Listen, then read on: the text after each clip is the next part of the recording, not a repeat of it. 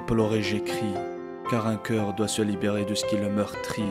Et toutes ces lettres noires que je ne peux garder pour moi, sur une feuille blanche, je les éparpille.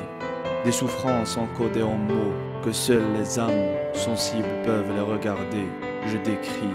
Ces sentiments affaiblis d'une haine engendrée par une soif humaine démesurée. Et à chaque pensée que je mets sur cette feuille vierge, je ressens à nouveau la vie. Mais à chaque soufflet, la feuille perd un peu de sa pureté. Elle qui est blanche, je la noircis à travers mes confidences, car par elle nul ne pourra porter. Pardon, je demande, pour toutes ces souffrances que je t'ai racontées, pour cette plume qui n'a pas cessé de te torturer, de te blesser.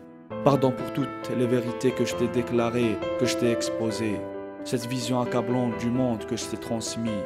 Parfois il vaut mieux vivre dans l'ignorance heureux que dans la connaissance malheureux, je me dis.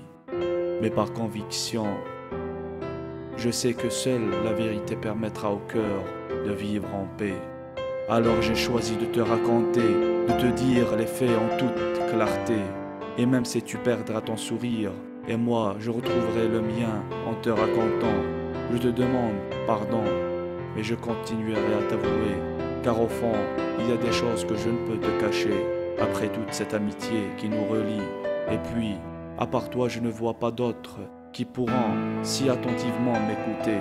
Je te demande pardon, en sachant que mes mots sont sans retour face à ta grandeur d'âme. Je te demande pardon, même si l'amour est dans les larmes, même si dire la vérité est notre seule arme. Je te demande pardon, je te demande pardon, my shirt down.